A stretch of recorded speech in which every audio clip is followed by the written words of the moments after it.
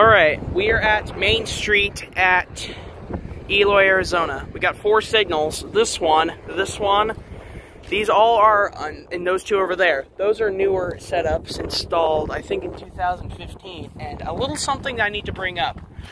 There's two old signals in that scrapyard over there. All right, we're gonna take a, we're gonna take a look at the median signal from this perspective after this car gets through. All right, we'll take a look at this one first before we head on to the other side. So there's this signal right here, Evinity Rail. Now we're going to go this way. Okay, we're gonna head to this way. There's these two signals. This one has an abnormally long. This one has a longer gate than the last one. That one, that way is towards Sunset Boulevard. Further ahead, I do not remember. So we'll find out later. Anyways, here's this signal. This one is also ordinarily one of the density rails. Density rail.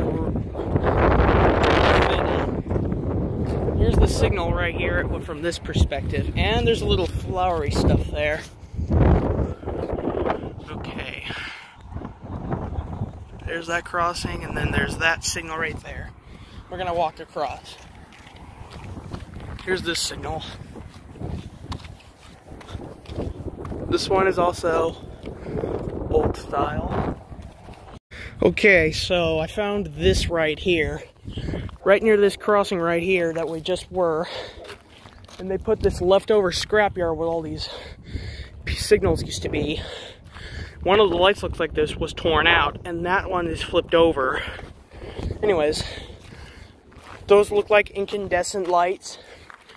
This used to have, I think, a General Signal Type 1 bell with incandescent lights. And the other signal looks like a mechanical bell from W.C. Hayes. So I think that's going to be it for this crossing. That's it. I forgot about the relay case, that's it.